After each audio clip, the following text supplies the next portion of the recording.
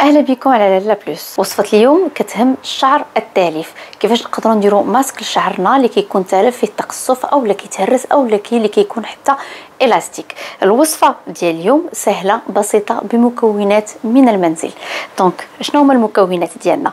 عندنا تناخذ جوج معالق كبار من العسل وحبذا الا كان عسل ديال السدر كيكون أحسن. ثم زيت سمسم. ثم زيت جوجوبه و le beurre de karité donc كناخذوا هادوك جوج معالق قيمه ديال جوج معالق ديال العسل كنزيدوا عليهم قيمه ديال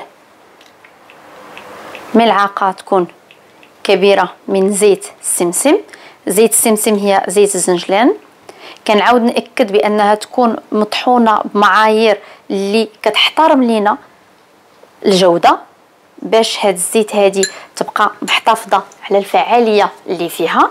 ثم كناخذوا معلقة كبيرة ديال زيت جوجوبا.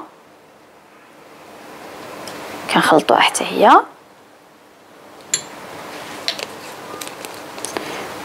و كناخذوا جوج معالق من le beurre de karité إلا ما قدرناش نخدمو به وهو قاصح كندوبوه شوية في البا ماغي و كنزيدوه على المخلوط ديالنا. دونك ملي كنحصلوا على هذا الخليط بهذه الطريقة كنقوموا بالخلط ديالو مزيان.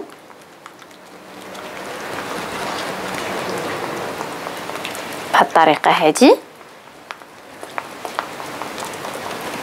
حتى كيمتزجوا العناصر بعضياتهم مزيان.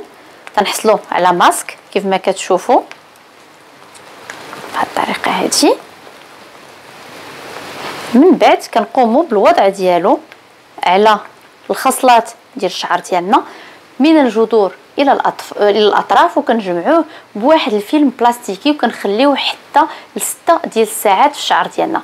إلا كان عندنا حمام يعني à vapeur كنقدروا نستعملوا فيه هذا الماسك مجرد 30 دقيقة. ولا ما كانش عندنا من الأحسن أننا كنديروا فيلم بلاستيكي ثم du papier aluminium اللي كنخليوه في الشعر ديالنا حتى لستة ديال الساعات. ومن بعد ذلك كنقوموا بالغسل ديال الشعر ديالنا وكنشطفوه بالماء دافي. ثم شامبوان اللي يكون خالي من السلفات طبعا والماسك ديالنا. نتمنى أن الوصفة ديال اليوم تكون راقت الإعجاب ديالكم. وإلى اللقاء في وصفات جديدة.